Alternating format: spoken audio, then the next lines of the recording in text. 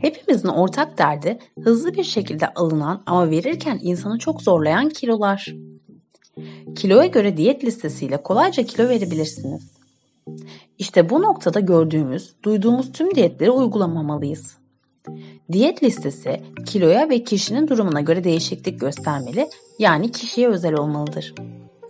Kilo vermek için diyet listesinin düzenlenmesi sırasında kişinin bazal metabolizma hızı, BMI yani vücut kitle endeksinin biliniyor olması gerekir.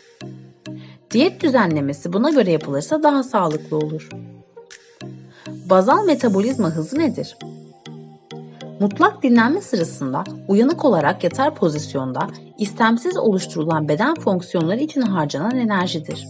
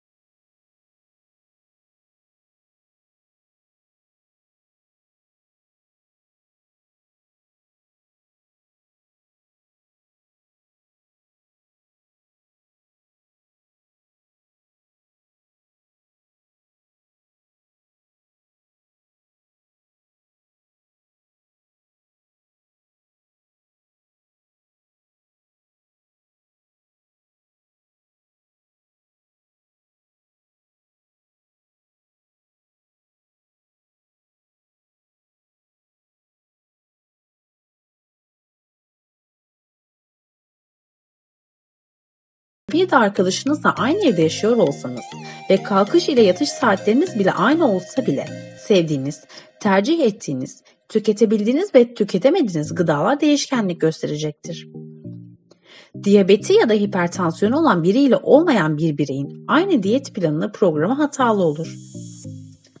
Mevcut olan sağlık sorunlarına göre diyet listesindeki yağ, karbonhidrat, protein oranları da değişkenlik gösterebilir kişilerin rahatsızlıklarına göre dikkatli tüketmesi ve tüketmemesi gereken gıdalar vardır. Kiloya göre diyet programları kilo vermek için değil de sağlıklı yaşamak için yapılmalıdır. Diyet kelimesi hepimizi korkutur. Hatta başladığımız gibi pes edebiliriz. Sağlıklı yaşam anahtarı şeklinde düşünürsek hem bunu daha kolay kabulleniriz hem de sağlığımıza kavuştukça daha mutlu oluruz. Bu durumda yaşam biçimimiz değişmiş olur.